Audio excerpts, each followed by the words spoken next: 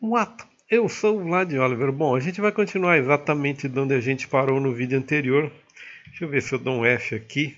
E o F é o responsável por eu é, mover desta forma aqui, menos traumática, o meu, o, o, meu objeto aqui. Vejam, é o seguinte, é, como vocês podem ver, nós estamos aqui com o Lumen, ou seja, estamos aqui com o Global Illumination do Unreal, que é uma novidade para o Unreal e nenhuma novidade para os softwares de modelagem tridimensional. Bom, o que diz o nosso amigo feliz da vida com tudo que a gente está podendo exibir aqui, etc, etc, é que é, a gente ainda tem, é, por default, uma certa um certo tracing aqui, né?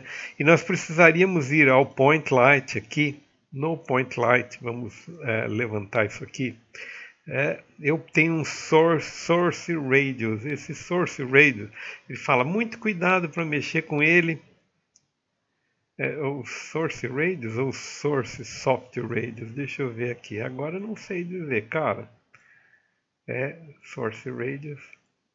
Ele afirma que isso aqui ajuda. Eu não estou vendo nada. Alguém está vendo alguma coisa? É, que isso aqui ajudaria. Source Radius, vejam só. Bom, eu vou até voltar aqui para ver. to slowly dampen that shadow. Slowly so dampen. Nice... Acho que Source Radius ele, ele vai para quase 30 para fazer algum efeito, né? Então vamos ver. Ah, finalmente, veja. Ah, acho que agora estou me entendendo. Uh, soft Source Radius. Vejam só. Bom, isso aqui faz um atenuamento. É, e talvez esse atenuamento eu não, esteja, eu não esteja vendo com mais qualidade, porque, cara, se isso é tempo real, essa é a qualidade que ele pode me dar, e ponto, né? Não sei mais o que falar a respeito disso. Cara, vai ser difícil vender essa tralha e dizer assim, cara, isso aqui é o máximo, tal, não sei o que. É mais ou menos, né? É mais ou menos perto do que a gente tem no Blender. Já disse isso para vocês, não vou repetir para não ficar sendo redundante. Bom, é, então Source Radius, Source Radius aqui num valor bastante alto, para falar a verdade, aqui eu estou em 75, né? É, aqui vou dar, vou dar zero aqui, isso aqui é zero, isso aqui é zero para ter zero, pof, zero. Deixa eu ver, vamos dar 40 aqui. É, para eu ter algum nível de algum nível de é, de penumbra aqui. A penumbra ainda é de qualquer jeito o cálculo, né? Mas vamos lá. Bom, a outra coisa que nosso amigo fala, que faz parte do, do meu vídeo aqui, é o emissive. Ah, eu já estava me esquecendo, cara, esqueci completamente do que poderia ser. Se eu não me engano, ele vem aqui no Materials e vem aqui e coloca este, isso aqui em emissive. Dá para dá ser agora? Dá. E o emissive mostra que oh, oh, oh, nós temos um objeto ah, que também ah, emite luz. Vejam, eu, sinceramente, acho que está uma forçada de barra que não tem tamanho, porque onde já se viu um objeto emissivo, ou seja, uma, uma luz, né, gerar ela mesma uma sombra? Cara, é... eu estou com dificuldade de dizer para vocês que isso aqui é o máximo. É, deixa eu dar um, uma série de Ctrl Zs aqui, um Drugs Move Element. Cara, volta, volta, pelo amor de Deus, não faz nada emissivo, não, porque tá russo, né? Bom, eu, sinceramente, eu lamento muito. As pessoas devem olhar isso com uma certa frustração, falar, pô, o cara é sacana, né? É, um tremendo desenvolvimento tecnológico para game, não sei o que, não sei o que lá, e o cara fica sacaneando, tal, não sei o que, não sei o que lá. Cara, eu preciso ser realista. Eu venho do mundo onde as coisas são muito mais realistas, tem muito mais realidade do que o Unreal. É, aí vocês vão falar, mas então por que você usa Unreal? Fica no Blender. Porque a proposta do Unreal é extinguir o render. Okay? Ele está extinguindo o render, fazendo uma série de, de mutretas que eu questiono se, por exemplo, o cálculo, o cálculo agora de lumen até que está razoável, mas o cálculo de luz com bake e tal, não sei o que, era um inferno, cara.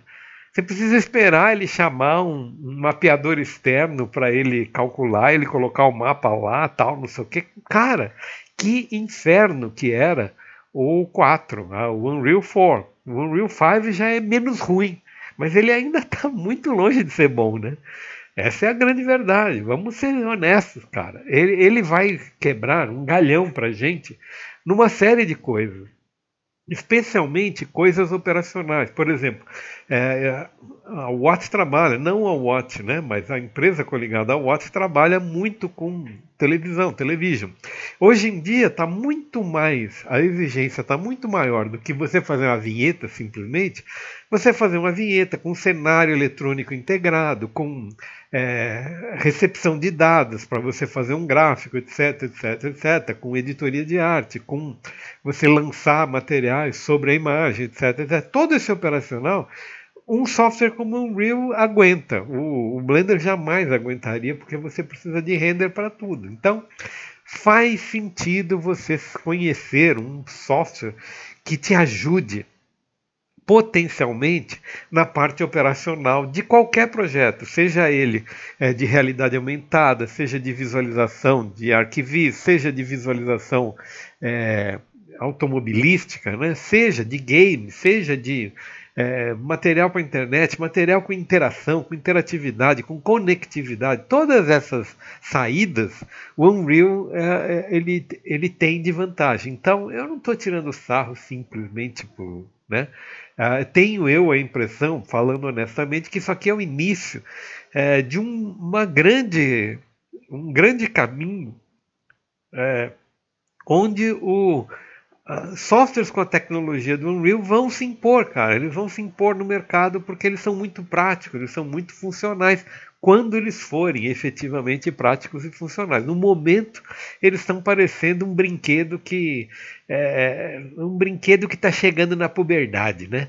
Então está começando a ter espinha na cara, etc, etc. Daqui a pouco ele sai da adolescência, chega na idade madura, aí, aí ele começa a trabalhar para cinema, para é, para elementos de ultrarrealismo, aí vocês vão dizer, cara, os caras já fazem isso, você está tirando, você está diminuindo a qualidade do software. Não, eu estou entendendo a qualidade do software para ser é, real time. No entanto, acreditem, o Blender, o Cinema 4D, esse software, eles estão indo muito rápido, na mesma toada, cara. E o acabamento é melhor lá do que aqui. Então, reconheça isso, porque reconhecer é a forma mais correta de você saber o que, que usar aonde. Ou seja, se eu tenho essa opção para o meu cliente, se o meu cliente não está muito interessado em realismo, mas está interessado é, em rapidez, em potencial, em interatividade, pronto, está com o software correto na mão. Entendam isso, porque dói menos, ok? Bom, eu já estou em 8h23, eu vou parar por aqui.